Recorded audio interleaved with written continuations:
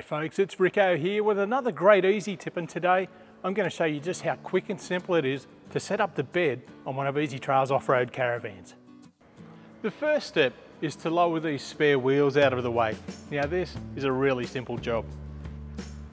To lower these spare wheels out of the way, we've got our latches down here. Now there's an over center latch and there's one on each side and then there's this bulky big hitch pin here as well. They need to come out and then with the help of these gas struts, it's just a one arm job to lower these down and out of the way.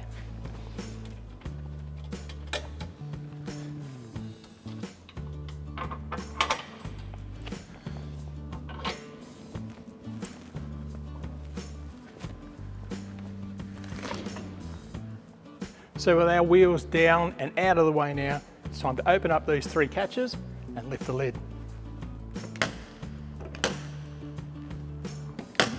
So once you've got all your catches undone, there are a few steps to this next process. The first thing we need to do is lift up that rear lid, then we're going to unlock the two walls and fold those out. That'll support the lid.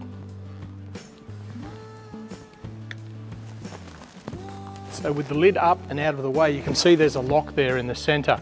You need to pull that and twist it, and that's going to let the, uh, the walls slide out. Pull, twist, one wall, two walls. It's that quick and simple.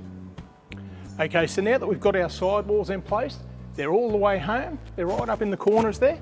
We've got two latches here, one here and one over this side. We need to undo those and then gently lower this bed into place. Now this is the floor of your bed and it also houses the back window that's going to come up here.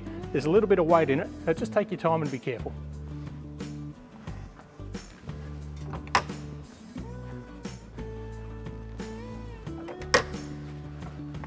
Gently does it.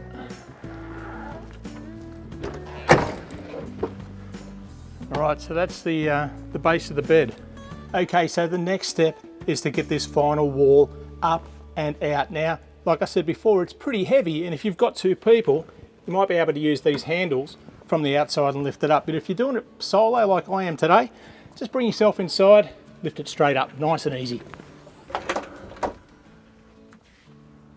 The outside work of getting your bed set up is almost done. All we need to do now is to lock this back wall in place and also lock the roof in place so if the wind comes up, everything's going to stay nice and sturdy.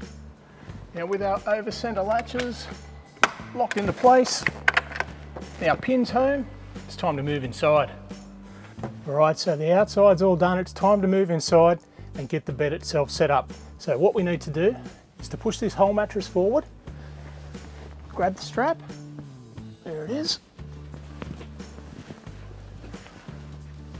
Fold the mattress out, just like that. All we need to do now is make the bed.